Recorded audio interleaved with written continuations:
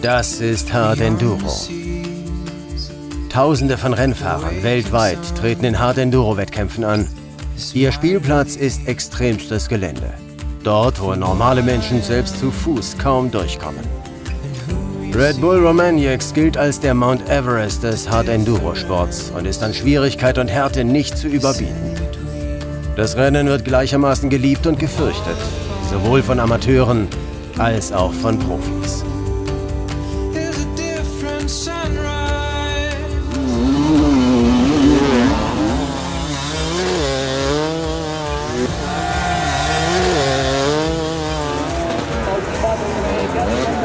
Alexander Bernard.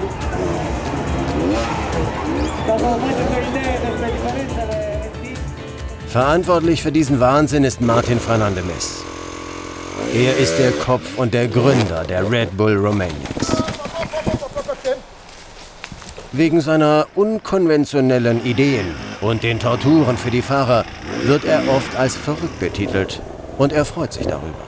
Denn Martin ist auch bekannt für seine akribische Arbeit und gilt als einer der professionellsten Motorsportveranstalter weltweit. Ja, also erstens möchte man wirklich selbst überall wissen, äh, wie der Schwierigkeitsgrad ist und äh, vor allem auch für unsere mehreren Klassen. Wir haben ja nicht nur Profistrecken, sondern auch für unsere Amateure. Und da wird es dann eigentlich viel komplizierter, dass man das Niveau gerade so an, anpasst, dass es noch schaffbar ist und dass die Leute nicht im Wald stecken bleiben. Äh, ich bin jetzt nicht der Erste, der hier gefahren ist. Die Jungs waren zum Teil schon hier und jetzt wollte ich es mir selber anschauen. Ist aber auch irgendwo, das haltet mich auch fit. Also das ist, äh, somit macht der Job Spaß.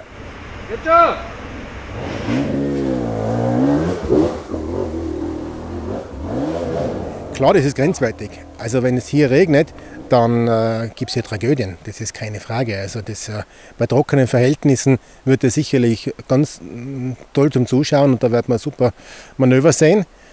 Und äh, wenn es so wie jetzt ist, so leicht feucht, dann ist es schon ein bisschen spannender. Und wenn es richtig nass ist, dann wird es also schmerzhaft.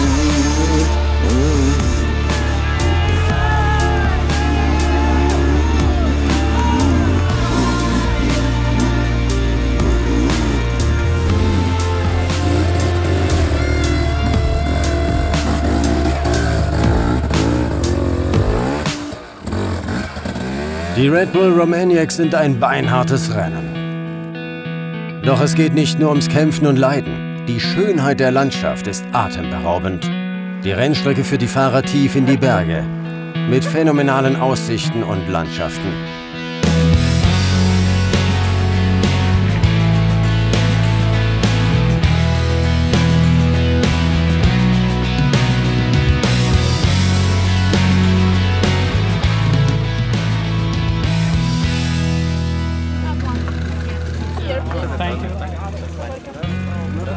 Hard Enduro-Fahrer, das sind die Netten und eine große Familie. Alles wird geteilt, die Rennstrecke, die Hotels, die Mahlzeiten und natürlich die Fahrerbesprechung. Wenn die wichtigsten Infos für den nächsten Renntag verlesen werden, sitzt die Weltelite des Hard Enduro mitten unter den Amateurfahrern. Die Infos sind wichtig, um es überhaupt ins Ziel zu schaffen. Und vor allem wohlbehalten. Vier Geländetage und ein Prolog sind eine komplexe Angelegenheit. Das Rennen führt die Teilnehmer über 600 Kilometer durch anspruchsvollstes Gelände in echter Wildnis. Dort draußen werden Freundschaften fürs Leben geschmiedet. Gemeinsam lassen sich die Strapazen besser überstehen. Freunde im rumänischen Wald zu haben, vereinfacht vieles. Für einige macht es sogar den Unterschied, ob sie die Ziellinie überqueren oder nicht.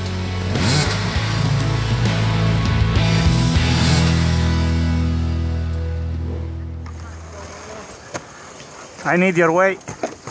Ich brauche Platz. Uphill oder Downhill? In the Downhill. Your right. Ich komme hier von rechts, von rechts. Ja. Ja, Knock me over. No. hey, schubst mich nicht. Thank you, bro. Oh, sorry. Ja, vielen Dank, danke. Oh, oh, Entschuldigung, Entschuldigung. Mist, sorry. Sorry, bro. Fuck. Mist, so ein Mist. Hier sehen wir Mario Roman bei der Arbeit. Und wir glauben, Mario Roman hat es nur gut gemeint, als er einem anderen Fahrer schnell und einfach den Berg hinunterhalf. Sorry, bro. Big sorry. Ja, Entschuldigung, tut mir wirklich leid.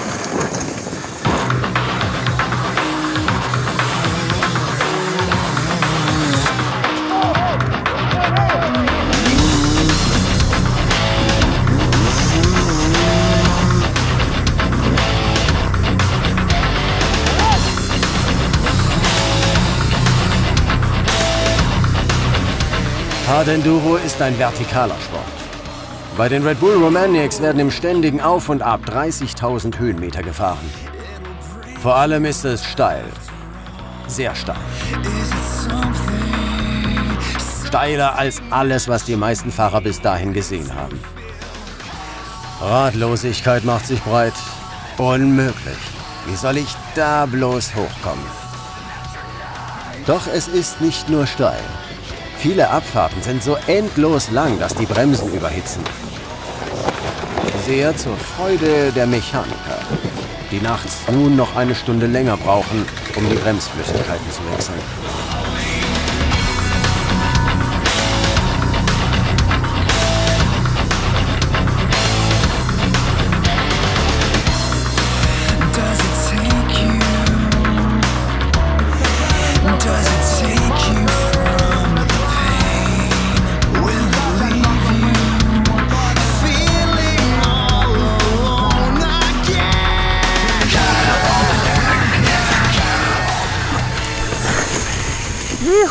No.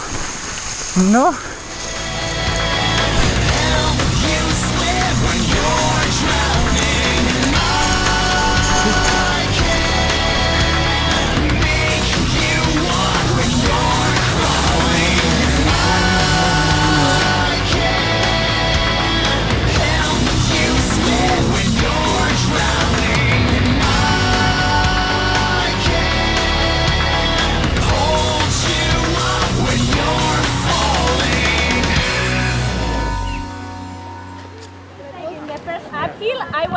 Ersten Auffahrt war ich so gut unterwegs. Doch am Ende, in der letzten Kurve, bin ich gestürzt. Aber es geht mir gut. Bis später. Nudeln? Mag jemand Nudeln? Hier gibt's was zu essen. Martin, gut gemacht. Danke dir. Tu ja, ja. Na.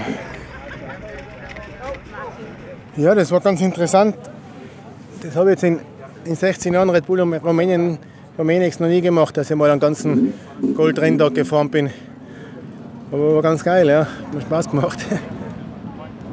Ja, das ist einfach eine riesen Herausforderung, in seiner Könnensklasse äh, das Rennen zu fahren, weil es ist für jede Klasse schwierig und die Ironfahrer, die heute hier ankommen, die sind dreckig und verschwitzt und fertig und äh, die Goldklasse-Fahrer das gleiche in grün, also äh, den Tag ins Ende zu fahren, das braucht einfach viel Kraft und viel Überwindung.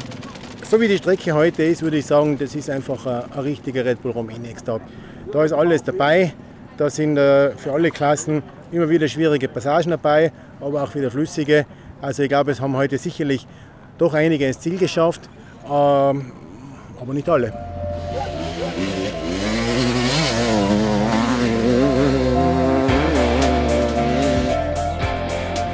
Es gibt vier verschiedene Rennklassen. Für jeden Level ist etwas dabei.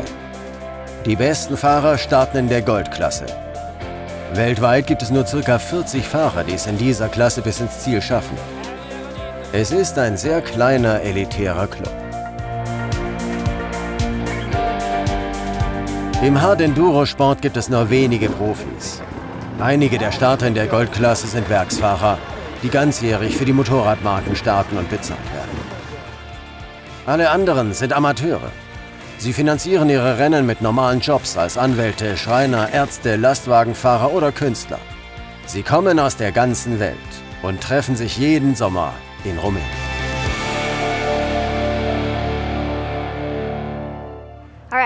Das ist Danny Melvin, seit vier Jahren mein Partner, mein persönlicher Held. Wir kommen aus Hollister, Kalifornien, in den USA. Ich muss mich nur ums Fahren und das Motorrad kümmern. Den Rest macht Morgan. Sie kümmert sich um alles. Manchmal fühle ich mich betreut wie ein Werksfahrer. Danny Melvin ist Amateur. Er wird nicht bezahlt, um zu starten. Im Gegenteil, Danny muss für alle Kosten selbst aufkommen. Er ist ein Feuerwehrmann aus Kalifornien, der den Trip nur durch massive Überstunden während der schlimmen Waldbrände letztes Jahr finanzieren konnte. Danny war schwer an Kehlkopfkrebs erkrankt. Die ganze Geschichte hat mich verändert. Das hier ist das härteste Enduro-Rennen der Welt. Ende. Jeder, der einmal hier war, wird das bestätigen. Ich habe so viele angesehene und großartige Fahrer hierher kommen sehen. Stolz und zuversichtlich. Dann sind sie alle wieder nach Hause gekommen, kleinlaut und gedemütigt. Von den Romaniacs habe ich in Motorradmagazinen gelesen. Und ich war mir sicher, das ist mein Ding. Seitdem träume ich davon, hierher zu kommen und zu starten. Ich will mich etwas zurückhalten. Das fällt mir schwer. Und stattdessen strategisch klug fahren. Das ist ein Marathon, kein Sprint. Ich stelle mir das Rennen als fünf unabhängige Tage vor. Eigentlich als fünf eigenständige Rennen. Und bei fünf Rennen in Folge wird es immer irgendwann Probleme geben. Wenn man sich darauf einstellt, Probleme zu haben, kann man besser damit umgehen. Die beschaulichen Landschaften im Süden von Sibiu in Rumänien empfangen die Rennfahrer am Morgen des ersten Tages mit freundlichem Wetter und in entspannter Atmosphäre.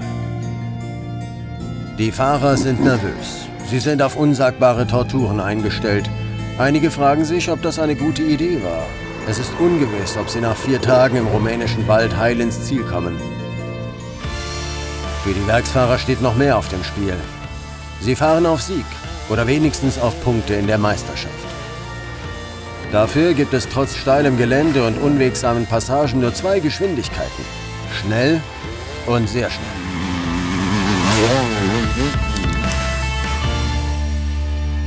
Letztjahressieger und Start Nummer 1, Wade Young, ist Schako-Werksfahrer und kennt sich mit Druck aus. Er geht das Rennen versiert, hart und schnell an.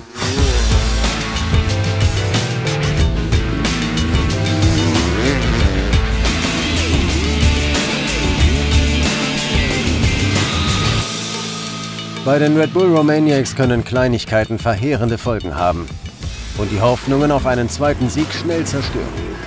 In einer relativ schnellen Passage schlägt Wade Young mit seinem Fuß auf einen Felsen. Trotz der schweren gepanzerten Stiefel bricht er sich mehrere Zehen. Er fährt trotzdem weiter. Auch am nächsten Morgen tritt der Profi trotz heftiger Schmerzen an und geht wieder ins Rennen.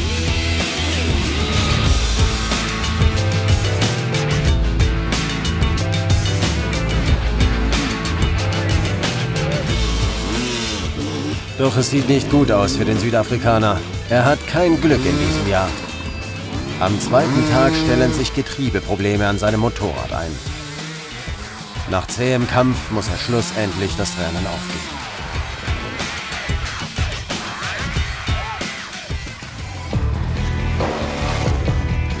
Das ist ein Rettungspunkt. 60 davon sind über die gesamte Rennstrecke verteilt. Auch wenn das Rennen verrückt ist, Die Sicherheit der Fahrer hat oberste Priorität bei den Red Bull Romaniacs. Da habt ihr den Hubschrauber schon wieder, wieder äh, in Sibir zurück oder ist der da noch in der Region? Das System für die Sicherheit der Fahrer ist ausgeklügelt und komplex. Täglich sind über 40 Helfer daran beteiligt. Darunter sind sieben Rettungssanitäter in Geländewagen, zehn Ärzte, teils auf Enduros unterwegs, Bergretter und sogar ein Hubschrauber.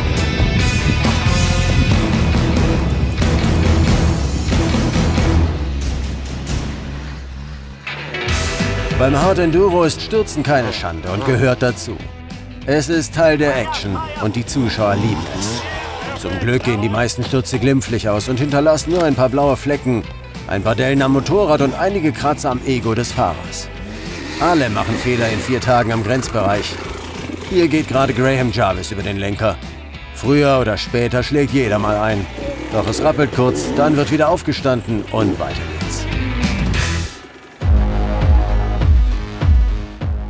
Graham Jarvis ist Husqvarna-Werksfahrer und hat die Red Bull Romaniacs bereits sechsmal gewonnen.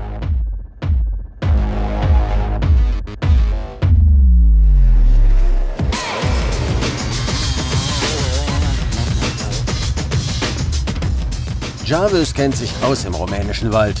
Je härter es wird und je widriger das Wetter, desto größer ist seine Chance, das Rennen zu gewinnen. Und der letzte Tag des Rennens, Offroad Tag 4, ist perfekt für Jarvis. Nass, rutschig und extrem schwierig.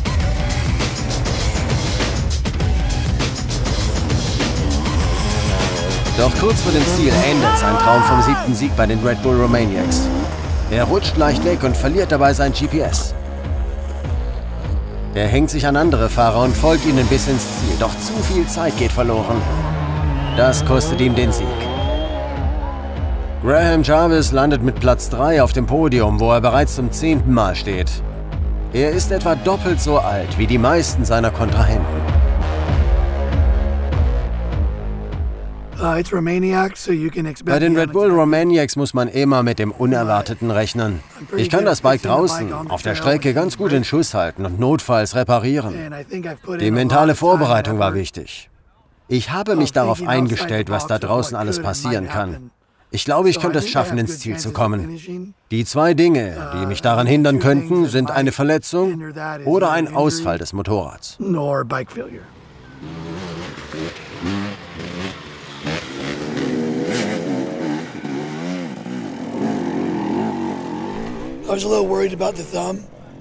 Mein Daumen hat mir große Sorgen gemacht, aber es ging. Uh, ich habe ihn mir beim Training ein paar Tage vor dem uh, Rennen gebrochen.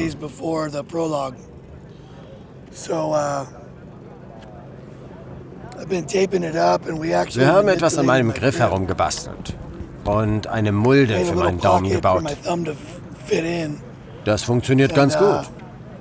Ein wenig amerikanische Erfindungsgabe.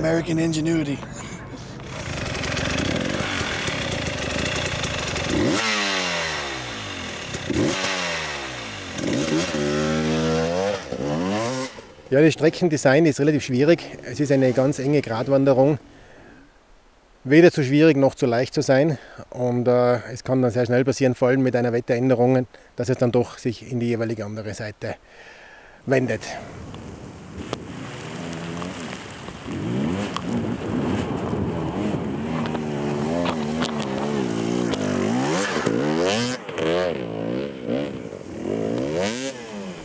Ja, wir haben über 20 Treckmanager, die um die zwei Monate im Gelände sind, um die Strecke zu präparieren, vorzubereiten, markieren.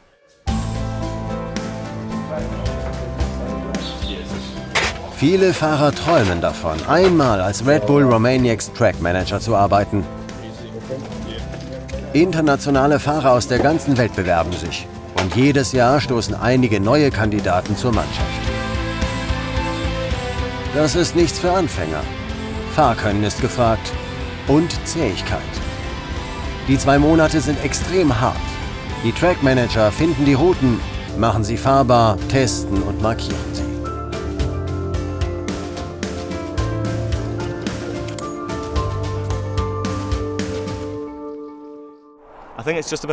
Es ist fast unmöglich, den perfekten Schwierigkeitsgrad für die Rennstrecke zu finden. Man will es so hart wie möglich, aber es muss irgendwie zu schaffen sein. Es gibt so viele Variablen. Das Wetter ändert sich ständig. Alles, was man tun kann, ist sein Bestes geben. Wir streben nach Perfektion, aber ich glaube nicht, dass wir die erreichen.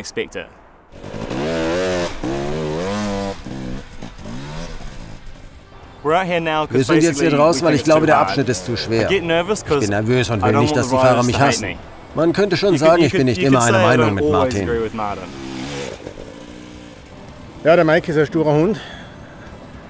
Und wenn, es, wenn er glaubt, er kann sich mit seinem eigenen durchsetzen, dann äh, wird er gleich unrund. Martin ist manchmal leicht sadistisch. Der Einstieg unten geht gut und macht Spaß. Aber oben wird es einfach nur sinnlos. Äh, jeder hat so seine eigenen Vorstellungen von der, vom Streckendesign. Und äh, summa summarum schauen wir eh relativ genau in die gleiche Richtung. Aber das, ist eher, das liegt dann eher an der Kommunikation, würde ich mal sagen. Das rutschige Gras, das bin ich nicht gewöhnt. Es ist anders als zu Hause, definitiv anders. Diese Jungs in Europa wissen, wie man im Regen fährt, das ist mal klar. Es gab da eine felsige Passage, da hing ich eine Weile. Die Jungs der Silberklasse steckten fest.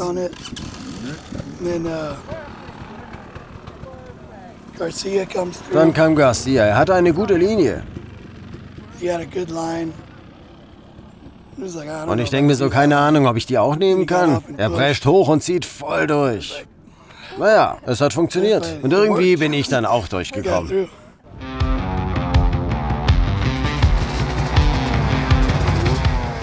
Der Spanier Alfredo Gomez startet in diesem Jahr seinen sechsten Angriff auf die Red Bull Romaniacs. Nach dem Tagessieg an Tag 2 sah es vielversprechend aus für den Husqvarna Werksfahrer. Gomez, der die Romaniacs bereits viermal in den Top 5 abgeschlossen hat, aber noch nie als Sieger, hat seinen Traum von der Nummer 1 in greifbarer Nähe.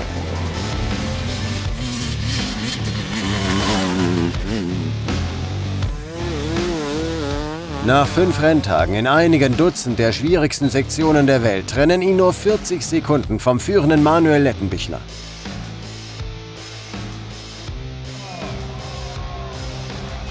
Sein Sieg hängt jetzt lediglich davon ab, wie gut er die finale Gustarica Zielauffahrt meistert.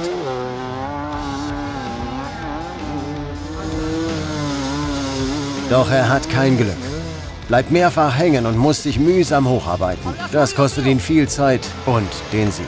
Alfredo Gomez muss sich mit Platz 2 zufrieden geben.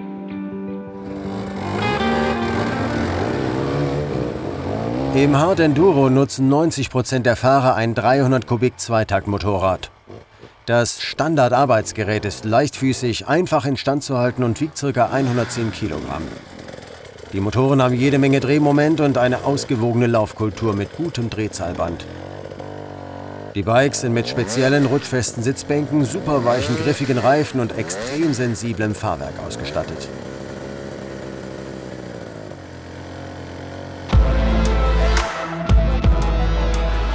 Die Story von Andreas und Manuel Lettenbichler bei den Red Bull Romaniacs ist eine echte Familiensaga. Vater Andreas hat das Rennen 2009 gewonnen, gegen etablierte Konkurrenz wie Cyril Depré, Chris Birch und Graham Jarvis. Heute, genau zehn Jahre danach, folgt Money den Fußstapfen seines Vaters aufs Podium und gewinnt die Red Bull Romaniacs. Der 21-jährige KTM-Fahrer ist der jüngste Gewinner in der Geschichte des Rennens. Und er hat hart dafür gekämpft.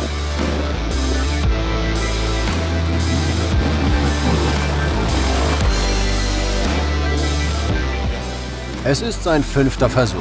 Zum ersten Mal tauchte Manni 2015 zusammen mit seinem Vater auf, war aber von der Härte des Rennens überwältigt und verletzte sich. Trotzdem hatte er Blut geleckt und wollte die Romaniacs bezwingen. 2016 war es dann soweit. Money schaffte es als 20. ins Ziel. 2017 dann als Vierter. Eine Stunde hinter Graham Jarvis. 2018 kam er zum ersten Mal in Reichweite zum Sieg, musste sich aber Wade Young mit zwei Minuten in einem spannenden Finish geschlagen geben. Spannend bleibt es auch in diesem Jahr. Diesmal findet das Duell zwischen Manny und Alfredo Gomez statt. Manny kann sich zwei Minuten vor Gomez ins Ziel kämpfen. Das ist der Sieg. Vater und Sohn feiern gemeinsam.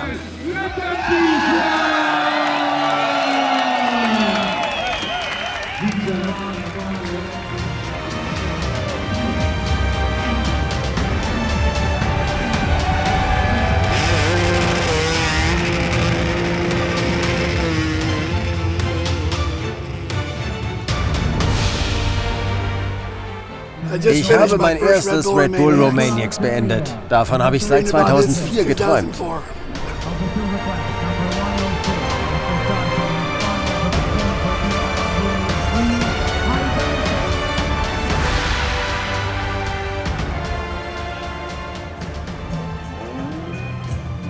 Es ist das beste Gefühl auf der ganzen Welt. Das ist der beste Sport der Welt. Das härteste Enduro-Rennen der Welt. Und ich glaube, jetzt gerade bin ich der glücklichste Mensch auf der Welt.